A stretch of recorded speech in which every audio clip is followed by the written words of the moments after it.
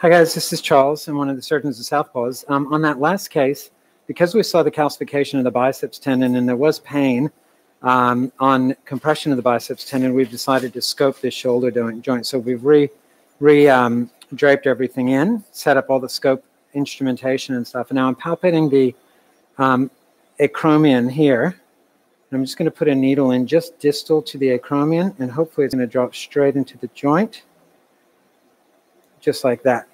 Um, and then we're going to take another needle. I'm going to put it into the biceps bursa, but I'm going to inflate the joint first. So just put some pressure there, John, please. Yeah. Uh, so just inflate. Yep.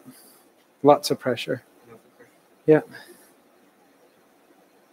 Keep going. Lots, lots, lots. Okay, so now we can see that squirting out there. It's a boy. So then we put a needle, I mean, put a blade along that needle that's going into the joint there. And then I take my scope.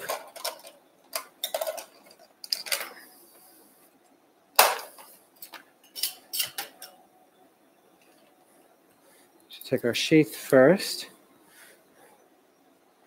with saline. We can turn that on.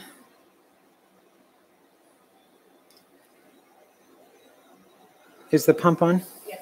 Okay, and I'll just drop this alongside that needle and hopefully right into the joint just like that.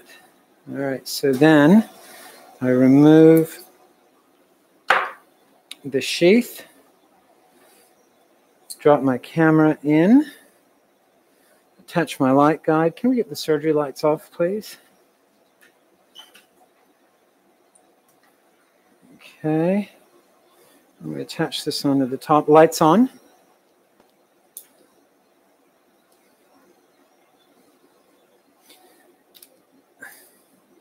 Okay, so now we're looking inside the joint. Make sure that we've got flush on. We should have egress coming out the front. Okay, so that's should be medial glenohumeral ligament there, and there is some fraying. See if I can see the biceps tendon. So that's all fraying of the medial glenohumeral ligament right there. This is the humeral head at the bottom down here. So that's all humeral head down there. That's medial joint capsule there. And I'll move my scope up forward and see if we can see the biceps tendon. A little bit harder because I don't have the long, the, the right length scope. There's my needle sitting there. See if I can enlarge the image.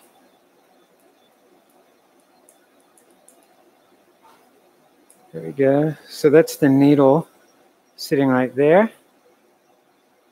And that's all subscapularis tendon there. And there's the biceps tendon up there. And it really doesn't look too bad. So can you guys see that biceps tendon sitting there? It's actually a better image on the computer screen than it is on the monitor that we have. So everything's reversed on the computer screen. So that's subscapularis tendon there again, and that's a little bit frayed, and that's medial glenohumeral ligament. That's a lot frayed right there.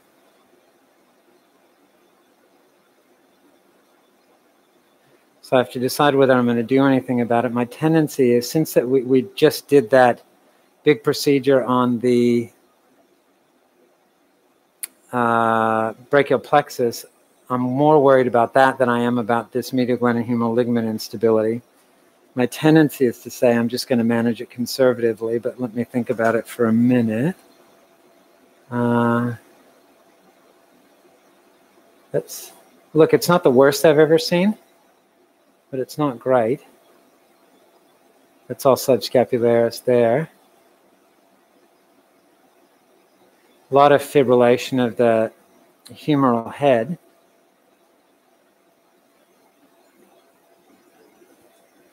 You can put a towel down yeah, there if you like. Thanks. Um, hmm, hmm, hmm. What do I do?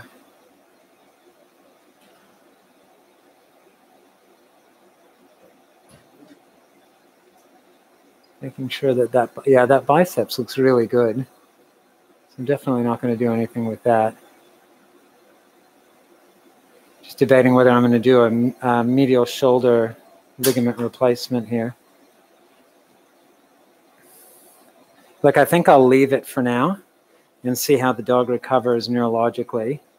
And then, um, and then I can always come back and do a, a medial shoulder ligament replacement later on. So anyway, um, good view of everything. I feel more comfortable having done that than just gone in from the front and cut our biceps tendon. Since looking at the scope, we can see that that actually wouldn't have been necessary.